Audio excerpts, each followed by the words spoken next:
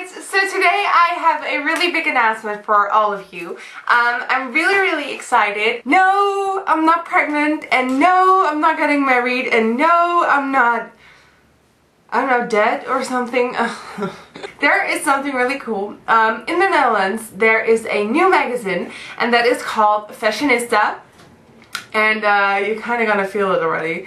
But um, I, me, Nikkie, I am a columnist for Fashionista from now on for at least six months. And um, this is Fashionista, um, so uh, we have Blake Lively, if you say it like that, on the cover. And then it's a really nice magazine. It's um, uh, it's for girls from 14 to like 20 years old. Um, and uh, of course I'm going to show you my page.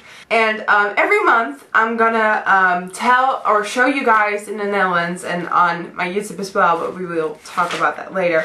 But every month I will show you either a makeup look, a hair look, nails, um, not nails so much because I suck at nail art, but mainly makeup and hair. So right here is yours truly in Fashionista. So uh, with this look, I uh, decided to uh, recreate Rebekah's look from the Vampire Diaries. So it's sort of this 50s glamour look. And um, so yeah, that is the look, the finished look.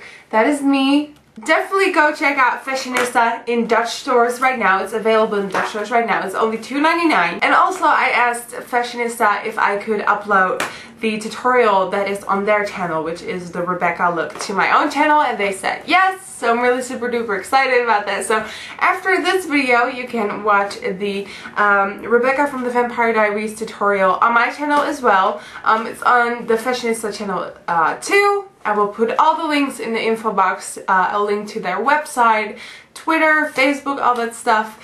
And I'm just really excited. I'm, I'm just, I'm like a video columnist right now. I feel so fancy, like so cool. Um, this weekend I'm filming my ass off to do some more looks for you because I missed you.